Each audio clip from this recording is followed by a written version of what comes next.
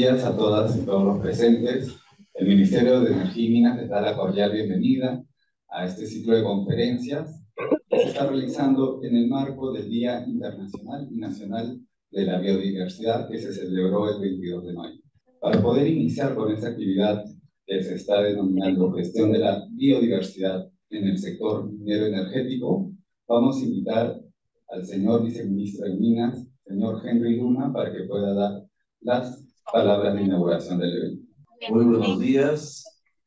Quiero darles a cada uno de ustedes eh, la bienvenida para este importante evento de gestión de la biodiversidad en el sector minero energético.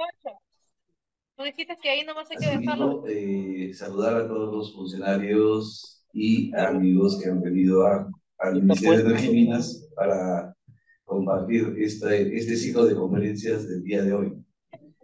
Como ustedes saben, eh, nosotros como sector energía y minas eh, tenemos a nuestro cargo eh, varios recursos naturales.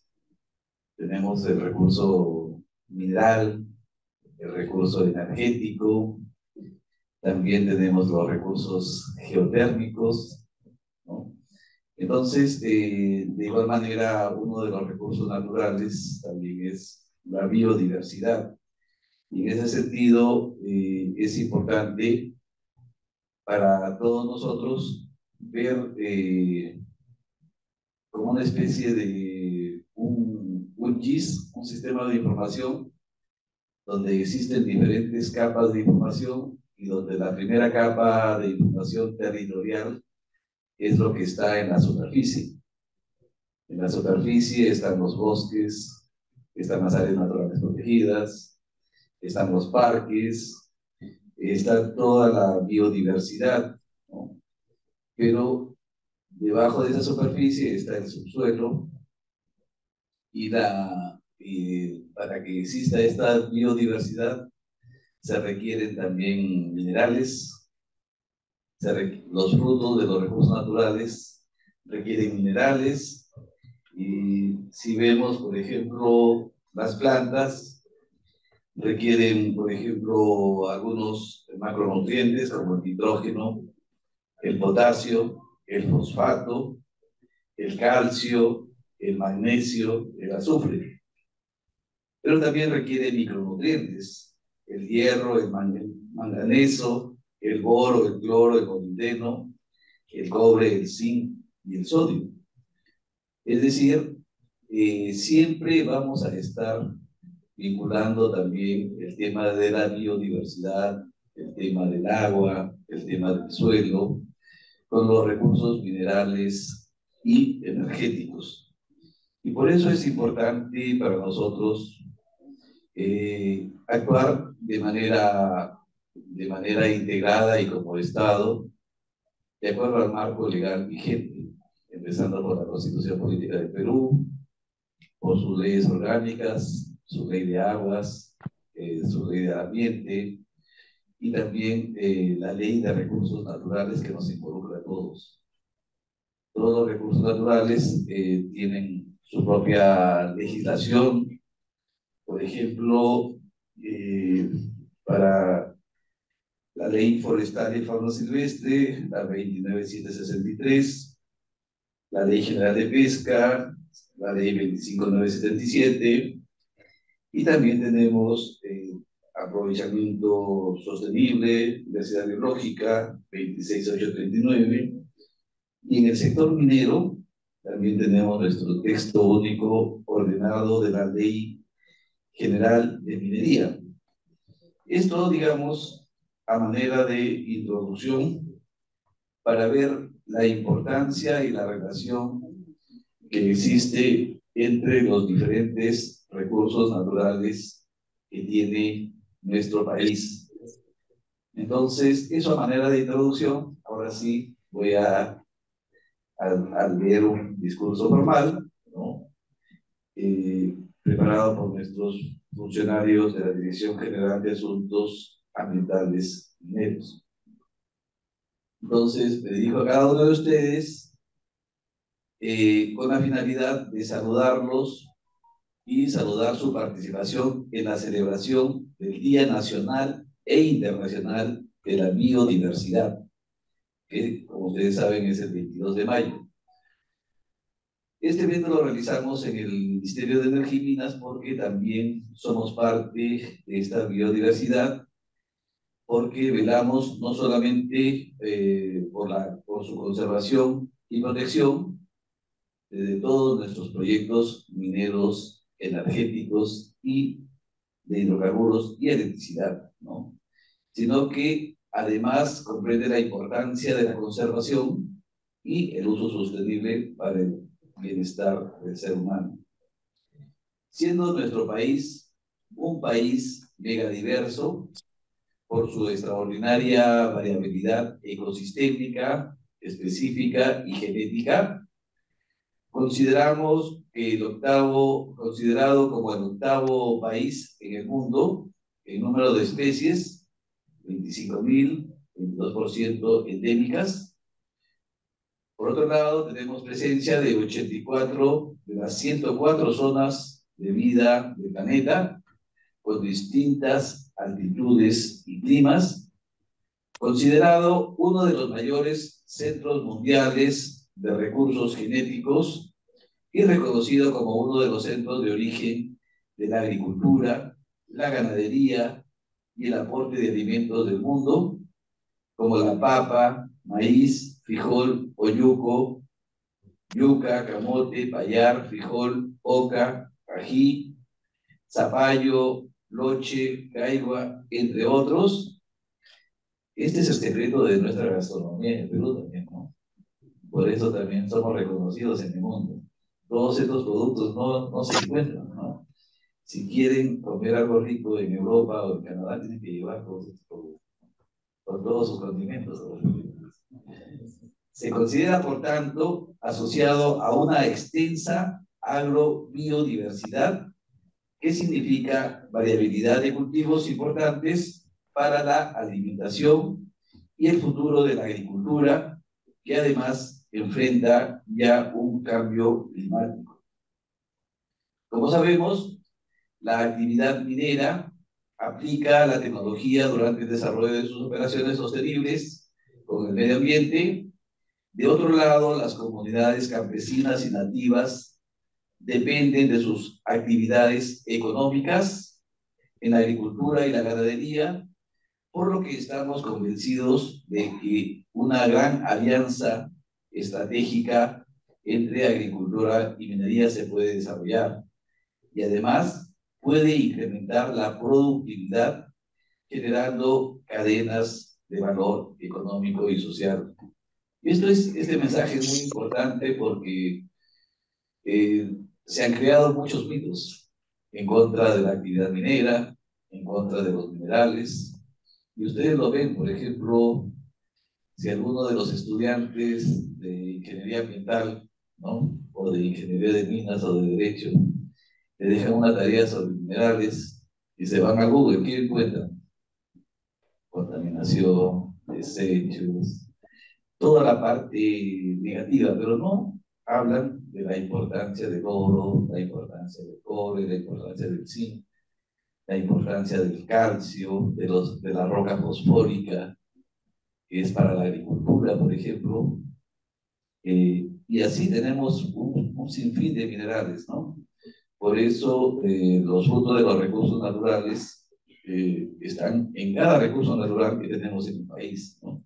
En el caso de la minería, el fruto de estos recursos naturales son los minerales. En el caso del petróleo, de la industria de los hidrocarburos, el petróleo y el gas. También ustedes, por ejemplo, eh, hablemos de tecnologías.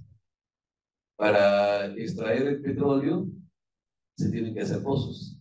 Para extraer el agua, también se tienen que hacer eh, perforaciones, ¿no?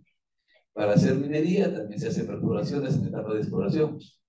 Es decir, las tecnologías prácticamente también son las mismas que estudiamos para hacer investigación.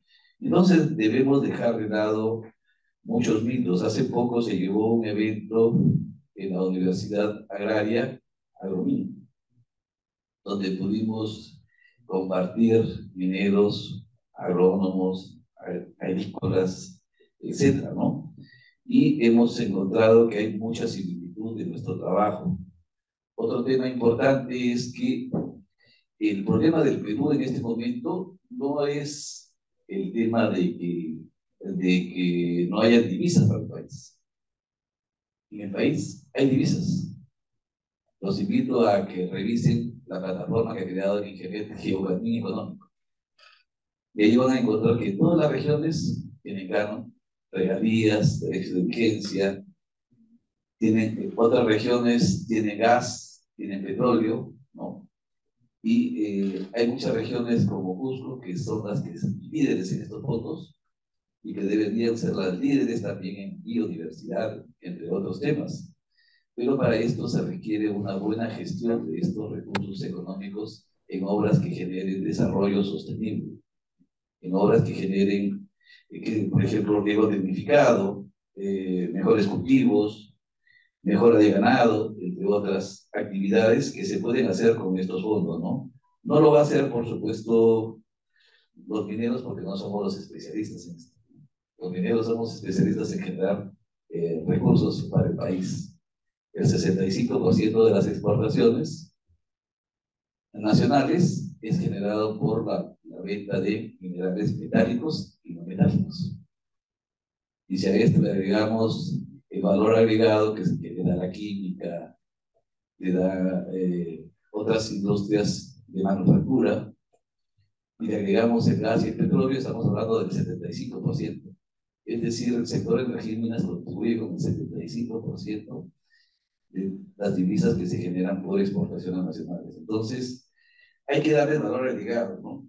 Y no hay que dejar solamente que estos fondos se inviertan en las ciudades, Antiguamente decíamos, en 2002, se hablaba de un centralismo, en los 90, ¿no?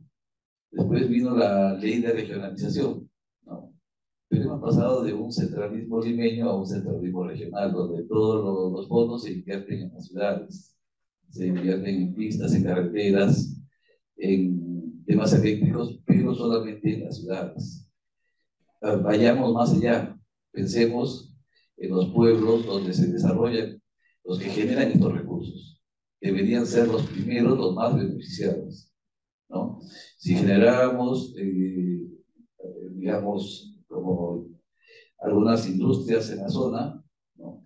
por ejemplo, eh, Holanda eh, es el, figura como uno de los productores más importantes en café, pero lo que hacen es darle valor agregado el café que llevan de América Latina, de Colombia, de Perú, de otros países.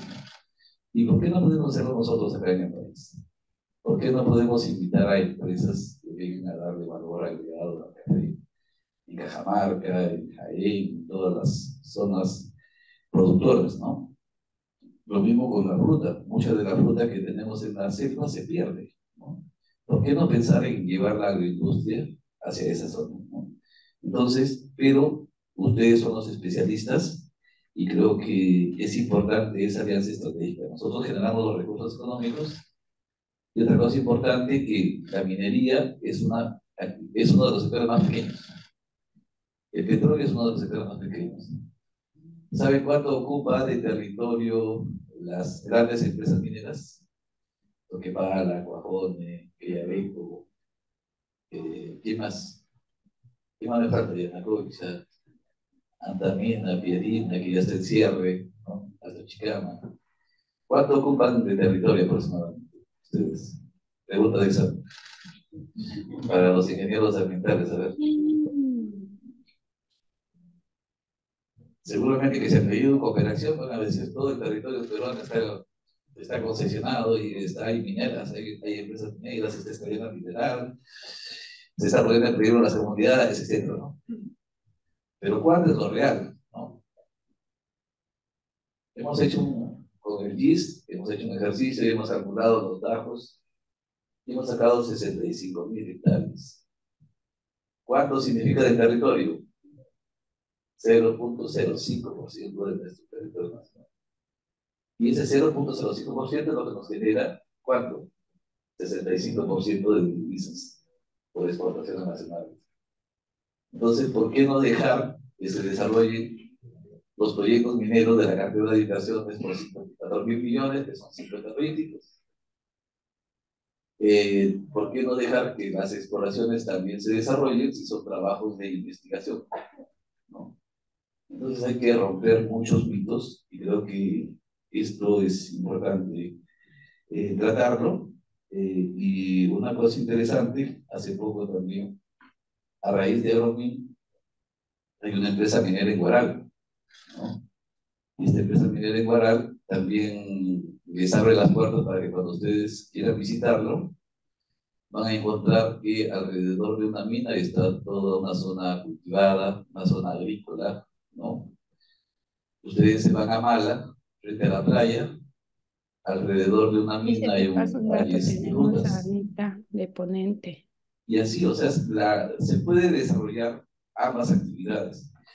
Y en el caso de Arequipa, por ejemplo, podrían desarrollarse Tía María y muchos proyectos más. Pero es necesario romper esos mitos, esas creencias que, se que nos han ido dando algunos actores, ¿no?